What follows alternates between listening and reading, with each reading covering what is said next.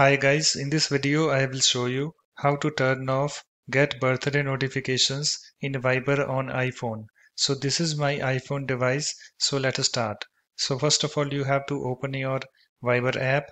So here is my Viber app, let me tap on this to open it. You can see guys it's opened and after that you have to come to this bottom menu and then tap on this more tab at the bottom right and then tap on this settings and then tap on this notifications on this settings screen. And I have this notifications this screen opened. And on this screen you can see here we have this get birthday notifications. Receive birthday notifications on your phone's notification bar. So currently it's turned on. You can see this toggle button is turned on next to this. So in order to turn off get birthday notifications you have to turn off this toggle button next to this.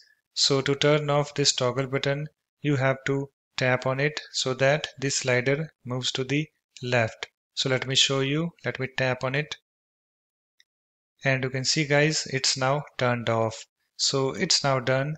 After that, you can go back to your chat screen. So let me go to that.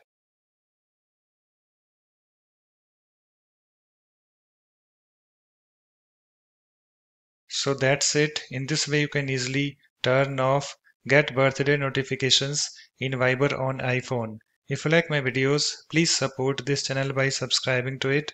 Thanks. Bye bye.